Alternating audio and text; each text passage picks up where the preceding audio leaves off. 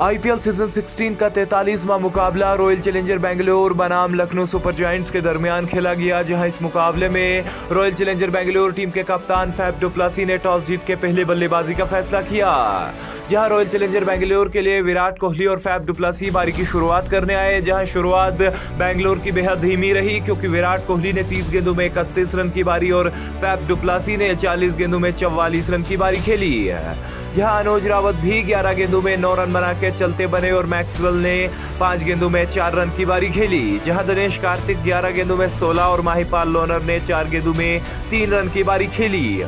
विनिंदु हसरंगा ने सात गेंदों में आठ रन की नाबाद बारी खेली, जिसके चलते 20 ओवर के समाप्ति के बाद रॉयल चैलेंजर बेंगलोर की टीम ने 126 रन पे नौ विकेट गवाए। गेंदबाजी में क्रोनवाल पांड्या ने चार ओवर इक्कीस रन, कोई सफलता पांड्या को नहीं मिली। नवीन उल हक चार ओवर तीस रन, तीन विकेट। और रवि बिश्नोई को भी तीन ओवर तीन ओवर, दो ओवर, चार ओवर, इक्कीस रन, दो सफलता बिश्नोई को भी मिली। जहाँ लक्ष्य का पीछा करने उतरे लखनऊ सुपर जायंट्स के लिए काइल मैरिस और आयुष बतौनी बारी की शुरुआत करने आए, जहाँ दोनों ओपनर फ्लॉप साबित हुए, क्योंकि काइल मैरिस दो गेंदों में शून्य और आयुष बतौनी ग्यारह गेंदों में चार रन बना के चलते बने।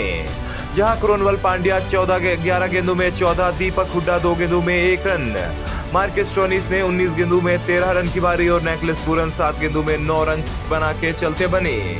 जहाँ कुल मिला के बीस, उन्नीस दशमलव पाँच ओवर में ही 108 रन पे ऑल आउट हो गई है लखनऊ सुपर जायंट्स की टीम, जहाँ इस मुकाबले को 18 रन की से रॉयल चैलेंजर बेंगलोर की टीम जीत चुकी है। गेंदबाजी में सिराज ने तीन ओवर 24 रन, एक विकेट, जहाँ जोश हैजलवुड ने तीन ओवर 15 रन, दो विकेट, शानदार गेंदबाजी हैजलवुड ने की। करण शर्मा ने भी चार ओवर 20 रन, दो विकेट, जहाँ इस मुकाबले को आसानी के साथ रॉयल चैलेंजर बेंगलोर की टीम 18 रन से जीत गई है, जहाँ प्लेयर ऑफ़ द मैच का अवार्ड फैफ डुप्लासी को चुना गया, जिन्होंने चवालीस रन की शानदार बारी खेली थी। अगर ये वीडियो आपको अच्छी लगी हो, वीडियो को लाइक करें, चैनल पर नए हैं तो चैनल को सब्सक्राइब करें और वीडियो को ज़्यादा से ज़्यादा लोगों तक शेयर भी कीजिए।